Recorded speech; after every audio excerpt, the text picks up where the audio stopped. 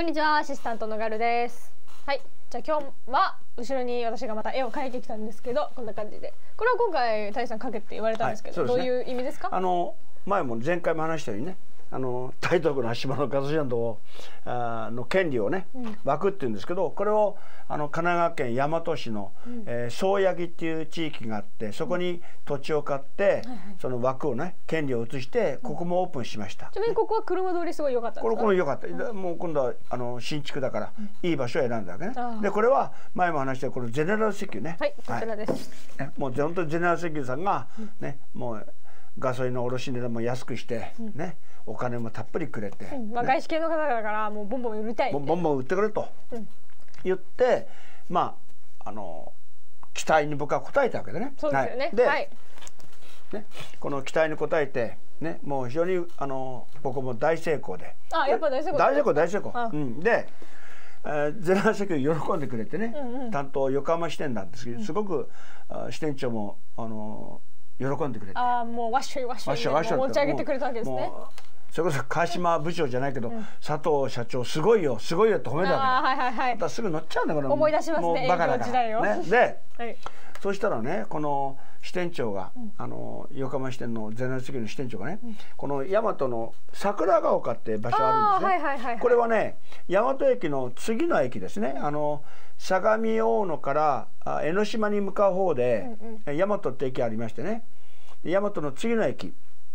桜ヶ丘って駅ありまして、うん、そこの藤沢街道ねあのまああの広い非常に車の通りのがあるところに、ゼネラル石油のあのガソリンスタンドがあったんですよ。ね、はい、はい、ね、ここにねゼネラル石油4点目、ね、はい、でこれが営業不振あまり売れてなかったんでここが。ああなるほどなるほど。ね、でそこをあの佐藤さんやらないかと言ってくれて。やっぱ売れてなかったのはその値段的な問題。いやいやあのまああの売れてない人たくさんあったんで当時は。ああなんででしょうね、うん、まあそれは経営者のやり方とかねあるんじゃないの、うんうん、まあいずれにしてもねここをあの僕にあの貸してくれたんですね賃貸してくれたの。でこれがこのね貸してくれたんです、ね、貸してくれたの。僕は賃貸で借りたんですね。はい、これが4店舗目ね。これが4店舗目。あ下下ろしあいいです下置いちゃって。でねこの4店も4店舗目出したことで、うん、ね当時のこの4箇所ね、うん、あの川越とかあ大和に2箇所できて南林間合わせるとね、うん、月で、えー、販売月間販売量がこのくらいになったんですよね。えー、1700キロ。まあリットル数でいうと170万リットル。あの月月ですよ。ガソリン売るんです売る会社になったわけ。これも全部合わせたね。はい1か月間のね。であの日本全国の昭和この頃昭和54年ぐらいかな、うん、えー、僕が25歳の時ですね。25歳ぐらいですね。の時にあの全国のガソリンスタンド5万8,000箇所の平均的なガソリンの販売量っていうのは5万リットル以下50キロ以下ですから。じゃあそれ考えるともう、うん、それから見るとねあの34,5箇所分のガソリンスタンド30箇所ぐらい持ってるぐらいの販売量だったんですね。もうレベルが違うってやつ、うん、だからあの月賞でね月賞で2億円有害収益とかね、売上入れると2億円で年間で一応24億円ぐらいを売る。まあ会社になったわけね。はいはいはいはい。奥のね男だったわけですね。まあ奥の二十二十四億円だからね。はいはい、うん、で、そうするとあの創業からいるね、うん、このメンバーも。ああヤンキーたちが。ややヤンキーもだんだん店長とかね。あ,、はいはいはい、あのやっぱり偉い地位になっていって。まあまあ偉いっていうか。まともに頑張ってね、はいはい、頑張ってあの社員とかアルバイトさんとか部下がつくと、うん、やっぱりそれなりのあの、はいはい、やっぱりだんだん成長していくのよ。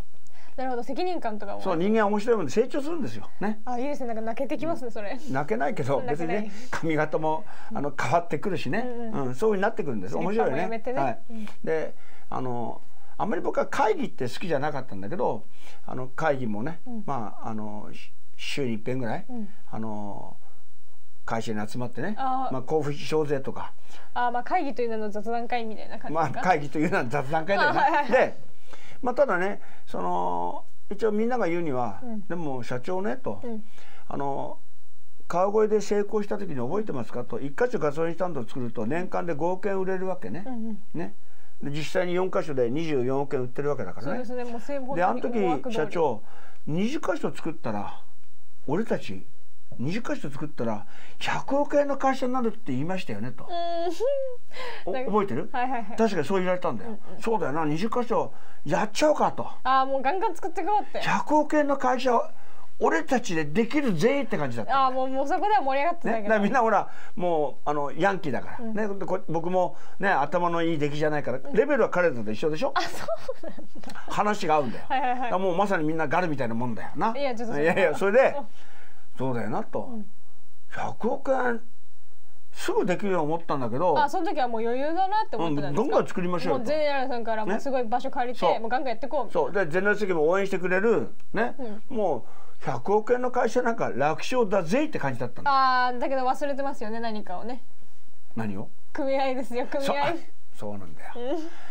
あのね、うん、このまあ台東区はやめたんでね、うん、台東区のガソリンスタンド組合は良かったと思ってるんだな。もう祝杯は絶対祝杯あげたはずなんだよ。あのライオン石油が出てったからね。うん、ところが 川越とかねこの大和相模原地域ではどんどん安売りがどんどん増えていくわけだから。膨れ上がってきますよね。今度は神奈川石油組合が黙っちゃいない。えでも神奈川石油組合はすごかったこれまた。頭良かったんだ。いやもうどういうやり方したかというと、うん、組合って連携取ってて、はい、ね殴り込みしてもあそこダメだぞと。ああもう学んだんだ、ね、でそうそうなんだよ。連絡取ってないあいつらで、はいはい。はい、ガソリンの地下タンクに水入れてもやつらへこたれないぞとライオン石油は。えそれは神奈川でもやられてたんですか？いや神奈川でやるんだ。から情報網があるんだああその川越とか、うん、あの前の橋場でのそう。もう浅草の台東区のねその組合の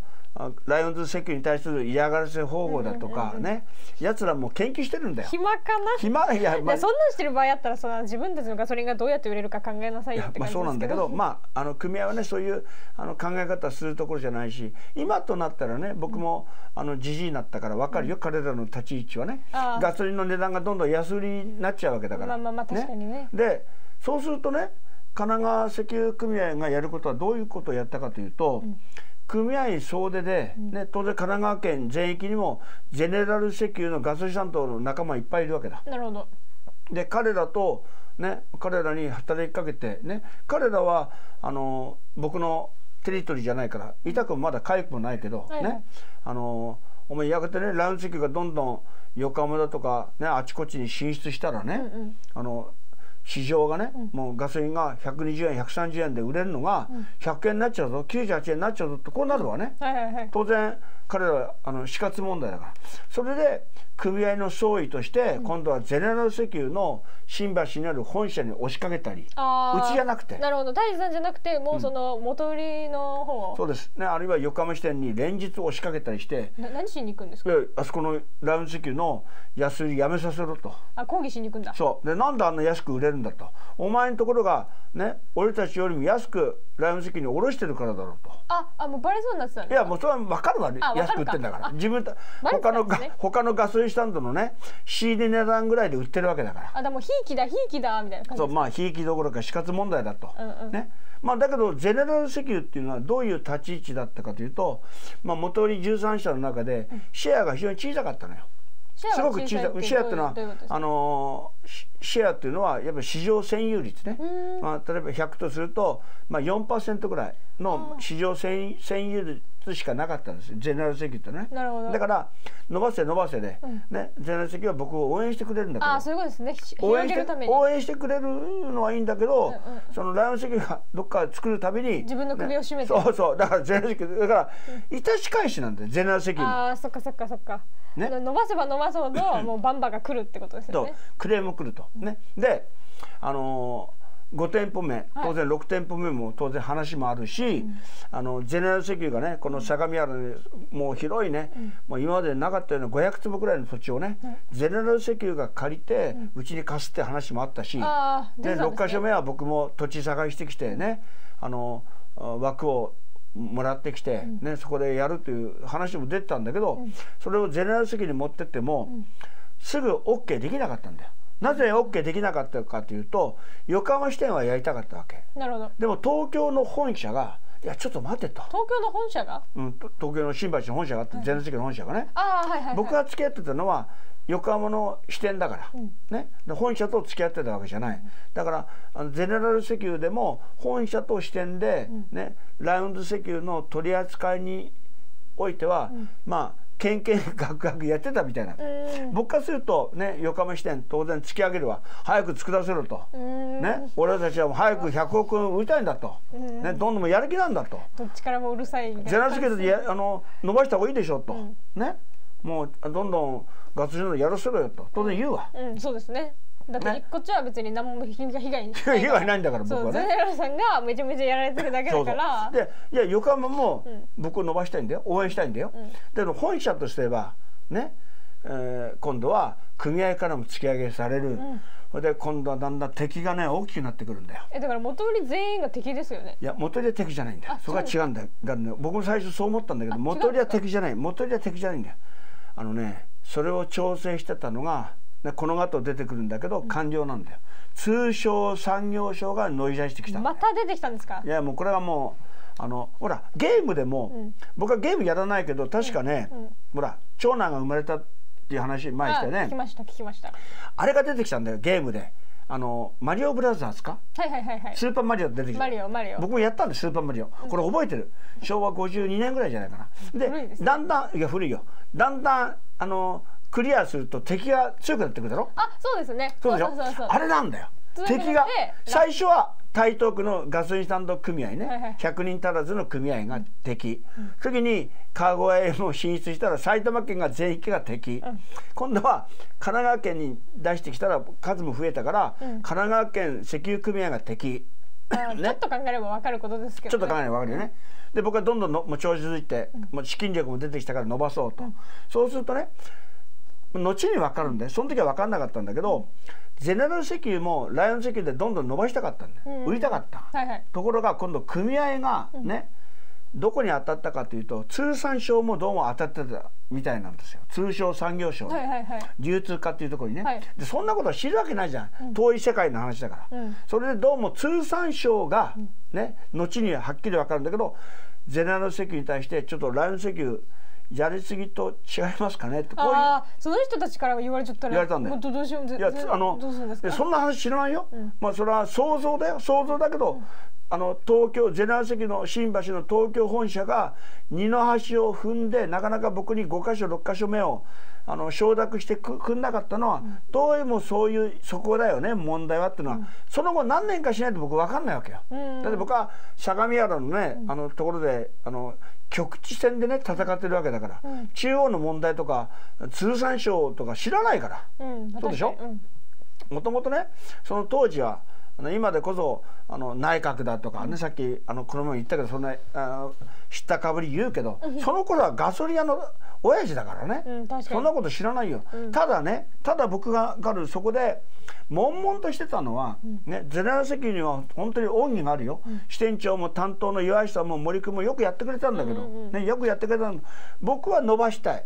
俺は早く100億やりたいんだよ売り上げで、ね、もう26か27では100億やろうぜと、社員もみんな盛り上がってるわけだから。まあ、ね、でもまあ今のままであの満足してればいいかもしれないってないかまあ、確かにな、うん、今のままで満足。いやそれもね何回も、うん、このままでいいかなというのはあった。だって広げれば広げるほど敵が増えるし、うん、まだこのまま、まあ、今いろいろ言われてるけどこのままやっていけば、まあ、まあちょっとだんだん沈下されていくかもしれなかったじゃないですか。沈下されないんだ安売り来てんだそれはないか、ね、まあだけど、あのやっぱりメンバーもねみんな若いし、ね。いや冗談じゃないですよねそうですね。大きな敵が見えてなかったから。見えてないから、うん、俺たち4か所5か所ぐらいのね、うん、ガソリンスタンドで終わっていいですかね？なんてなるわけで会議のために。そうですね。ほらほ自分たちがいっぱい安売りしたら他のとこがどうなるとか考えちゃいなかった、ね、考えてない。誰も考えてないですね。そうですね。その頭ないし。それはもういいけますよね。ねね年商20億超えたんだから、うん、もう次50億100億やりましょうよって感じだから。テンションだけで。そうでしょ、もういつも会議はそれよこんな納得できないですよ。どんどんやりましょうよと。でもできないっていうね、ね。はい、だけどこのガソリンスタンド経営の最大の弱点というのは何かというとガソリンの供給なんだよ。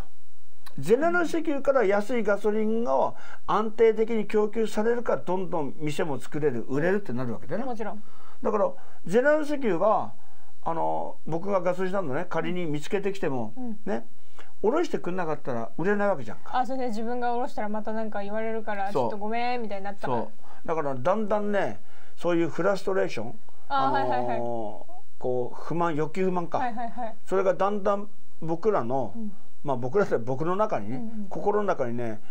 なんかこうだんだん溜まってくるのよ。なるほどね、うん、頭を押さえられてる、うん、ね、確かに今ガルがいいこと言ったよ。4か所5か所のガソリンスタンドのね、うん、地域でちゃんと利益上げて、ね、時を待てばよかったかもしれないよ。いやだけどねもうイケイケどんどんだったんだよ。まあまあまあまあそれは悪いことじゃないですもんね。で壁にぶつかった時どうしたらいいんだろうね。うん。私が読んでた本の作者はなんかジタバタするしかないみたいな。まさにジタバタしてたもうどうしようかと。でもやっぱ解決策が来るんですよねもちろん。解決策が来ます。あはい。じゃあそれこれまたね、はい、あのもうちょっと先になるんだけど、うんうん、あの解決ジタバタしたんで、うん、その結果がね。解決はできるんですよ、うん、で解決するたんびにただし敵がでかくなるんだよ。あまあまあまあ、まあ、マリオのスーパーマリオと一緒だよ。もう敵がどんどんでかくなるんだよ。じゃあもうトップに立つしかないですねねまあ、それがちょっとヒントになるんだけど、まあ、いずれにしてもね、はい、このガソリンスタンド経営の一番の弱点伸ばすためには元利会社の協力がいる。元利会社の協力って何ですかっていう供給です。まさに安定供給、うん、ガソリンは日本から取れない。ね、うん、安定供給するために元利の力借りるしかない、うんうん、ね、そこで僕はずっともう悶々とね。じゃもう自分がもう石油し、取ってくるしかないじゃないですかね、まあまあ、まあそれ言っちゃったらね、あの解決だってそんな頭ないじゃない。確かに。わかる？二十五六でね、あの五万八千箇所のガソリンスタンドの経営者がまさかね、その今ガソリン簡単に取ってくるって言ったけどどっから取ってくるか分かんないじゃん。そこら辺掘っても出てくるかもしれない新潟にねその少し石油出るんだよ。だけどそんなとこ行ったってねいや出るんだよ新潟に。ね、新潟油田ってのあるんだけど、ね、あそんな量もたかが知れてるしね、うん、っていうことでまあ僕らは悶々ともう先が見えないね、あのフラストレーションが、うん、本当でもねゼネラル石油は、まあ、この後話しことすごくよくしてくれてね、うん、あの研修とかいろいろやってくるんで、うん、まあ、そんな話も織り交ぜながら、とにかく僕らはどんどん伸ばしたい。ね、これがほら飲食店だとか他だったらもう伸ばし放題でしょ、ところがこのなんか見るガソリンスタンド経営の最大の問題点というのは供給ガソリンの安定供給、ね、元を閉められたらもうすぐ終わっちゃうと、うん、もうここでね悶々、うんうん、とこの時代がねちょっと長く、あの足踏み状態が続いちゃうんですね。はいまあ、こういうあの時代背景でした。はい、起業家をやってるたらそういうことも直面するってことですね。そういうことです。はい。